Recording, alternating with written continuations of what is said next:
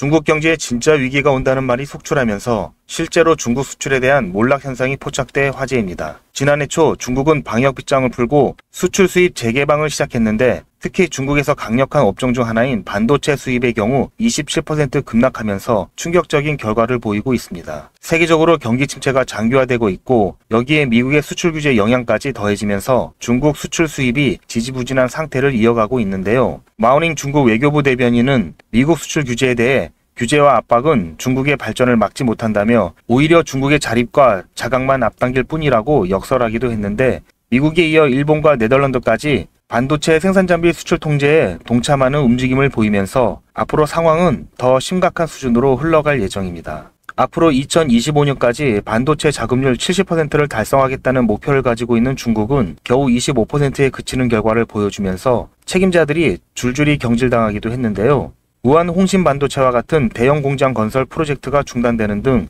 여전히 현실은 암울한 것으로 파악되고 있습니다. 외신들은 이런 중국의 움직임에 대해서 아직 중국의 기술력이 뒷받침되지 않는데 너무 성급하게 투자하여 여러 가지 시행착오를 겪는 것으로 보인다며 평가하고 있는데요. 시진핑 국가주석은 여전히 반도체와 같은 핵심 분야 기술 발전에 대해 손을 놓지 못하고 결국 양회기구 개편을 통해서 당 중앙의 과학기술위원회를 신설한다는 결정을 내렸습니다. 중국에서 반도체 분야 기술 발전에 온 힘을 쏟고 있다는 소식이 퍼지면서 우리나라에는 기술 유출 우려에 대한 긴장감이 흐르고 있는데요. 더군다나 윤석열 대통령 또한 반도체 분야에서 탈중국화를 언급하기도 했기 때문에 앞으로 반도체 산업 분야에서 얼마나 기술력 확보를 빨리 하느냐가 국가 경제 발전의 새로운 축이 될 수 있을 것으로 전망되고 있습니다. 주변에 많은 분들이 힘들어 하십니다. 우리나라는 노인 빈곤층 문제가 점점 심화되고 있습니다. 노후 준비가 잘 안 되기 때문인데요. 자식이 노후 준비가 되는 시기는 이미 옛날 얘기가 되었습니다. 집 한 채 사기도 힘듭니다. 정말 어렵게 집을 사놔도 일정한 수입이 없으면 집만 있다 뿐이지 빈곤층의 생활과 다를 게 없습니다. 여러분들은 최근 이런 뉴스들을 자주 접하셨을 겁니다. 이런 뉴스들을 봤을 때 여러분들은 어떤 생각을 하고 계신가요? 전쟁이 큰일이네, 난방비 많이 나오겠네, 이런 생각을 많이 하셨을 겁니다. 이렇게 걱정을 할 때 누군가는 이런 뉴스를 보고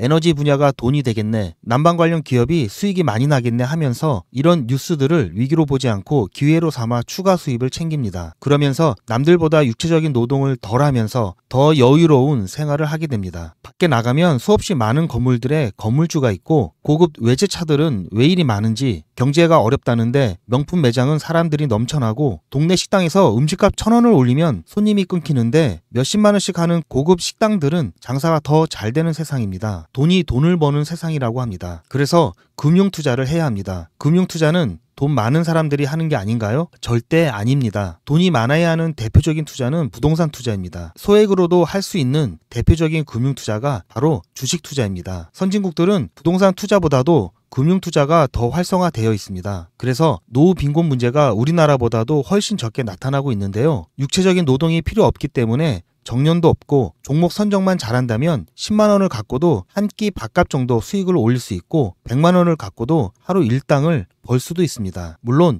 위험이 없는 투자는 없습니다. 하지만 회사가 망하지 않는 이상 주식으로서의 가치는 남아있고 조금 손해를 볼 수는 있지만 언제라도 현금화가 편리한 안전한 투자입니다. 올해는 AI, 전력 부족에 관한 뉴스들이 많았습니다. 여기 보시면 아시겠지만 이분처럼 이렇게 저한테 뉴스라고 보내주신 모든 시청자분들께 AI, 전력, 그리고 전선에 관련된 저평가 수혜주로 두 배 이상 오를 수 있는 딱 한 종목인 대원 전선을 제가 추천해드렸습니다. 이분 같은 경우에는 4월 24일 수요일에 뉴스 이렇게 저한테 문자를 보내주셨고 제가 이 문자를 받고 그 다음 날인 4월 25일 목요일에 무료 이벤트 급등 종목입니다 하면서 눌림목 부근에 있던 대원 전선을 말씀드렸습니다. 그리고 이렇게 매수 가격은 물론 목표가, 손절가, 그리고 추천 이유까지 정확하게 다 말씀을 드렸고 그리고 나서 일주일 정도 지나서 실제로 80% 이상 수익은 물론 최고가까지 들고 계셨다면 147%라는 어마어마한 수익을 내실 수가 있었는데요. 저희는 이미 전량 매도해서 수익을 챙겼고 AI 테마에 관심이 조금 사그러져 조정을 받아 가격이 낮아진 현재 가격을 보더라도 지난번 안내드렸던 가격을 기준으로 여전히 수익 구간인 것을 확인하실 수 있으실 않으실 겁니다. 저는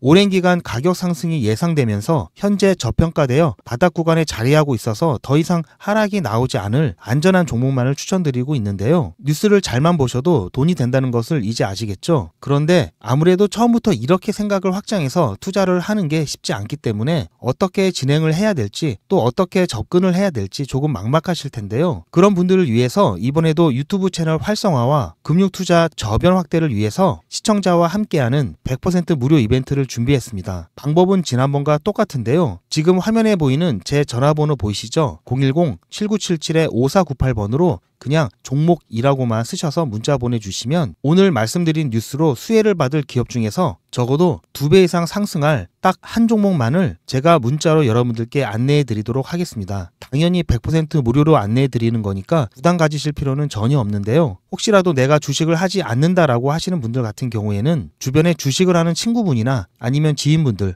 그리고 무엇보다도 소중한 자녀분들에게 이 종목 한번 사봐라. 어떤 뉴스 때문에 이 종목이 두 배 정도 상승할 것 같다라고 조언을 해주시면 몇십만 원, 몇백만 원짜리 선물을 해주시는 것보다 훨씬 더 가치 있고 고마운 선물이 될 겁니다. 자, 그래서 지금 이 영상을 보시는 시청자분들 중에서 이 종목이 뭔지 나도 이번엔 좀 궁금하다 하시는 분들은 누구라도 상관없이 어느 시간대건 상관없이 지금 상단에 보이는 제 전화번호 010-7977-5498번에 종목이라고 쓰셔서 문자 보내주시기 바랍니다. 그럼 이런 식으로 제가 이때 이분에게 보내드렸던 것처럼 이번 뉴스의 수요를 받아 급등 가능한 대장 종목 딱 한 종목만을 보내드릴 겁니다. 아시겠죠? 무료로 종목 받아보시고 난 다음에 단돈 만 원이라도 수익을 직접 내셔서 아 뉴스가 정말 돈이 되는구나 라는 거를 경험해 보시길 바랍니다. 아 그리고 저한테 수익 내서 고맙다고 사례하고 싶다라고 하시는 분들도 많이 계시는데요. 어, 저는 진짜 아무것도 필요 없습니다. 다만 우리 시청자분들께서 제 문자를 받아보시고 수익이 나시면 기분 좋은 그 마음 그대로